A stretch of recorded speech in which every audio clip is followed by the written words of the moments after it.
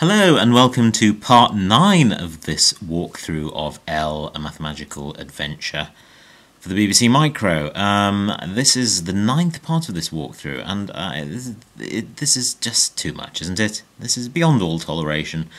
There's a walkthrough of a very complicated uh, adventure game on YouTube, um, an adventure game called Quondam, also for the BBC Micro, and it's very good, but um, it's much shorter than this, I believe. I, I don't know how this has ended up in nine parts. Anyway, I, I'm determined to get to the end of this. Or maybe I should just leave this all, the rest of it, as a cliffhanger for anyone who's masochistic enough to actually watch every single part up to now. Um, as a kind of punishment, I suppose. Uh, I, that would be quite sadistic of me, so I won't do that. Anyway, welcome to part 9 of the walkthrough of this game. Will it ever end? Who knows? Um, we had arrived at the swimming pool and we had entered the swimming swimming pool, and we had found that there's a small hole there um, at the bottom, which was once covered by a grating and presumably now is not. And we want to try to enter that hole, actually, because there's nothing else to do. And there's a hole, there must be a reason for the hole. Rather like Alice in Wonderland, it's a kind of rabbit hole, but a hole in a swimming pool without any rabbits. So, in fact, nothing like a rabbit hole at all. So, we want to try and get in there, and or try and see if we can get in there. Now, what we can do, how do we do this? Because if we try to say enter hole, we are told you can't fit through a hole that small. Is there anything we've been carrying all this time that might have helped us. And why? Why didn't we drop those bottles? Eh, yes, Darren Izzard, who wrote this walkthrough, why didn't we drop those bottles in the pool room at an appropriate time instead of carrying them around and then having to drop them and pick them up all the time? I don't know. Darren Izzard, please explain yourself. Uh, no, I'm joking. I'm very grateful to Darren Izzard for the walkthrough, which has made this epic double figures part document uh, documentary um, walkthrough possible. I'm not even making sense or speaking in coherent sentences now. Um, I think I should stop soon. Um, and I will. Anyway, um, yes, we do have some objects that might help us to reduce our size and we want to be smaller to fit through the hole. So there's a phial label times 0.6, which should reduce us to 2 thirds or also of our size. So let's drink that, because it could be one of those magical Alice in Wonderland drink me type things, couldn't it? Um, you experience a very so we drink the phial and well, not the phial but the liquid in the phial obviously. Uh, you experience a very strange sensation as if all the molecules in your body are rearranging themselves. You feel as if you are being closed up like a retractable aerial. Hmm very nice uh, simile there. You have shrunk to three-fifths of your normal height. Of course. Uh, I'm sorry I can't do basic maths even. Uh, never mind. Uh, the phial vanishes into thin air as you drink the last sip. Now, can we enter the hole now? Because we've shrunk ourselves. Uh, you're small enough to fit through the hole, but as it is some distance above the floor of the pool, it is too high for you to reach. So we're too small now, in fact, uh, to clamber into the hole, so we need to drink the liquid in the bottle. You have grown a little. You are now three quarters of your original height, and the bottle has vanished. So we have now adjusted our height, and we're three quarters of our original height. Um, it occurs to me, and, and we can enter the hole now. You're only just tall enough to reach the hole and it's a very tight squeeze to enter it. You're at one end of a dark tunnel littered with brick rubble. A small opening leads out into the light. The tunnel slopes downwards and is just wide enough for you to crawl along. It just occurs to me that we needed to drink both bottles. And this could have been a more challenging puzzle if the bottles had been located in different places, but in fact we originally found the bottles the bottle and the phial rather, in the same place. So, effectively, we just drank one after the other and it was no challenge at all. I suppose once again I'm really expecting too much because it's all about the maths and you really need you know need to think about this as a game for children who would have to explain and do the calculations and show their working to explain how times 1.25 and times 0.6 uh, can be written as fractions and how they get you to 3 quarters. So, silly me. Anyway, we are in a new place now, and we're going to go down. We're at the bottom of a dark tunnel. It's quite wide here, and there's just enough room to stand up. A rough hole knocked through some stonework leads out into the light. So we're going to exit into the light. You're in a passage with granite walls with a door to the south. A rough hole has been knocked through the stonework at the north end. On one wall there's a wooden notice board with the words no breach of security is too small to ignore. I see. Um, but it has been ignored because there's been a hole there and, and nobody cares, it seems. So that's a bit weird.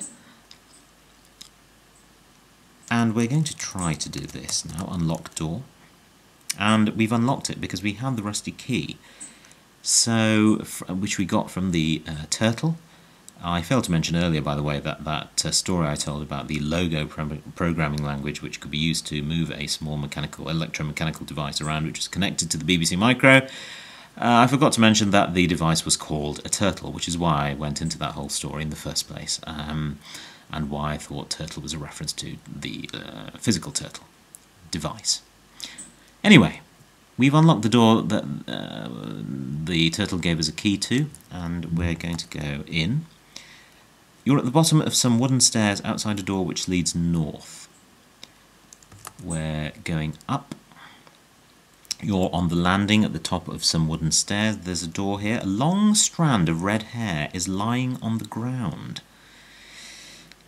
Now, red hair, what does that mean to us? Runia, do you remember her from the beginning of this epic quest? Uh, we're here to actually find her and save her, and she had red hair, and the Drogos are scared of red hair. So perhaps if we carry this red hair with us and brandish it whenever whenever. I've just typed in red hair, which is a foolish thing to do. But um, perhaps if we get the hair and brandish it whenever a Drogo Robot Guard comes along, we won't need to work out the square root to banish them. But uh, that's possibly wishful thinking. Anyway, we get the red hair. And I actually I can't explain why we get it. Now I think about it, I don't know what it does. Yes. Anyway, um, we enter the door that is here, and you are in a large circular room beneath a glass dome. Eight identical doors lead to the north, northwest, west, southwest, south, southeast, east, and northeast. An elderly janitor is sitting on a bench in the middle of the room.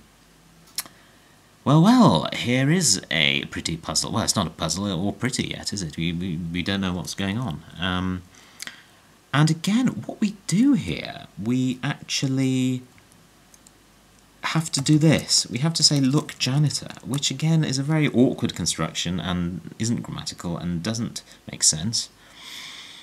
But uh, hey ho, uh, the janitor is very short sighted and mistakes you for someone else. That's lucky. Um, oh, it's you, Jimmy, he says. I would keep out of the Kempis room today. There's real trouble this time. They're mad, and there's even talk that she's coming. But don't say a word, and don't go messing in any of those other rooms. You don't know what the Drogos keep in there. The janitor gets up and hobbles out through one of the doors. So that was an interesting bit of spiel. Um, there's real trouble. There's a she. There's a she that was mentioned who's quite scary apparently. Uh, will these questions be answered at the end of the game? Um, no. Uh, not all of them, and not many, if any of them. So, but anyway, that's to come, and there's some information there. Can we act on any of this? It says don't go messing in any of the other rooms, but clearly we have to, otherwise this game would end. What are we to do? We are to go north, because there are rooms in all of the cardinal directions, and we have to start somewhere. So you have walked into a broom cupboard. Oh. Also in the cupboard is a Drogo robot guard with the number 121 emblazoned on his chest. He stands in front of the door, blocking your exit. There's a calculator lying on the ground here. Now, the first thing we do, of course, when we encounter Drogo robot guards is to type the square root of the number on their chests to get rid of them. But it doesn't work this time because the guard does not hear you. He seems to be deaf. His robot eye watches you with a cold, unending stare. Hmm. So, because he can't hear us say 11, he doesn't uh, scream and vanish, uh, whatever it is they do.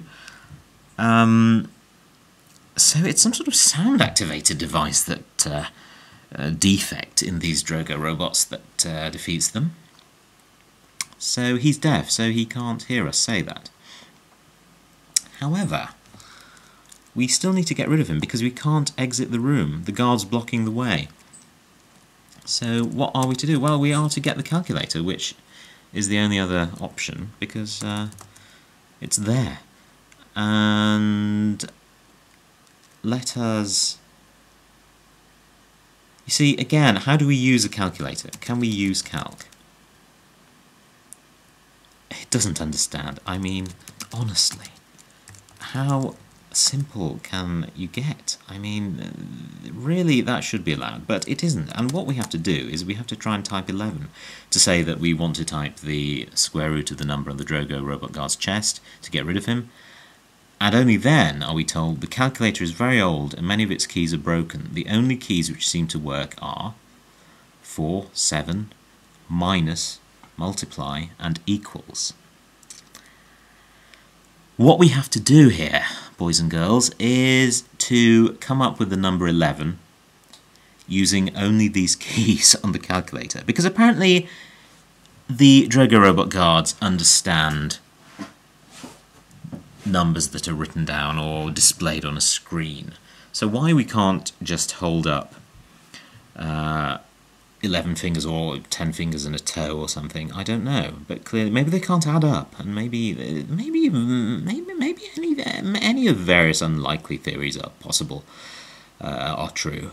Um, but in any case, the one that applies here is that we have to use a calculator. And shall I cut a long story short? Because we could we could try various things and get nowhere, or I could just do this. If you type in 7 minus 4, you obviously get 3, but the guard takes no notice. Uh, what you can then do is um, type multiply by 4 and then take away 7. And you get 5. 12, 12 takes 7. Uh, the guard still takes no notice because, of course, 5 isn't 11. What you then do is this incredible thing, which is times 7, minus 4, minus 4, minus 4, minus 4, minus 4, minus 4. And you get 11. And the guard gives a shriek of terror, smashes the calculator into tiny fragments, and rushes out through the door. And that, you know, is a quite clever little puzzle, I think. Um, it's quite neat, and I'm pleased with it. And there are, there are different solutions, and there may be a shorter solution, in fact, to that puzzle. Although I'm not sure about that, and I couldn't prove it. But in any case, we've done it. We've got rid of the guard. So we can now leave that room. And of course there was no point to that except to get rid of the card and play that game. Uh, and should I be complaining about these things? Should I be complaining about uh, verisimilitude? Um, about narrative, about the lack of narrative? Should I really? Because after all, if this is a tribute to the original adventure, there wasn't much narrative there either. And at that point, and on that note, I shall pause again and see you, see you in the next part of this epic playthrough.